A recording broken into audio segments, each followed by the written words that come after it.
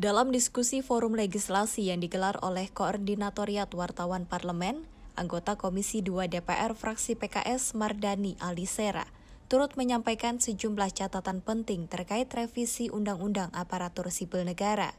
Mardani menekankan pengaturan struktur penggajian terhadap ASN perlu dilakukan secara baik agar dapat meningkatkan transparansi dan efisiensi dalam sistem kepegawaian. Selain itu, Mardani pun meminta adanya penguatan fungsi dan kewenangan Komite Aparatur Sipil Negara dengan tujuan meningkatkan profesionalisme dan kualitas pelayanan publik. Terakhir, politikus PKS ini juga turut menyoroti urgensi penyelesaian permasalahan tenaga honorer, yang kini jumlahnya hampir 2,4 juta orang, berdasarkan data terbaru dari Kemenpan RB. Karena itu, eh, struktur penggajian dan lain-lain perlu betul-betul kita tuntaskan dan tidak boleh ayam sama telur. Karena itu di revisi undang-undang ini kita lagi berharap ada tadi harapan teman-teman ASN yang 3,9 itu bisa tuntas. Yang kedua, kita punya catatan terhadap uh, P3K uh, jenis dan uh, spesifikasi pekerjaannya masih masuk keranjang termasuk pendetailannya.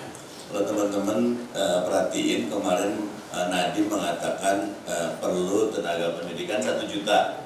Ya.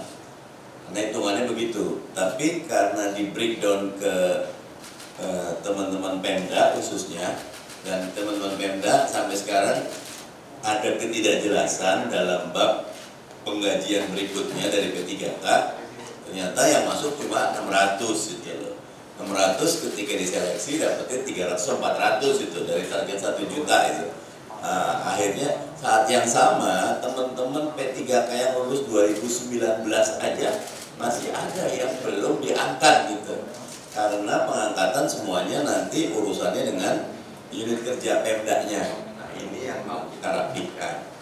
Yang ketiga, tentu kita lagi berharap eh, ASN seperti juga teman-teman jurnalis kita punya dewan pers yang jaga etikanya penguatan KASN, Komite Aparatur Sipil Negara. Dari Jakarta, Sri Dewi Andayani, Andi Rezaldi melaporkan untuk Sinpo TV.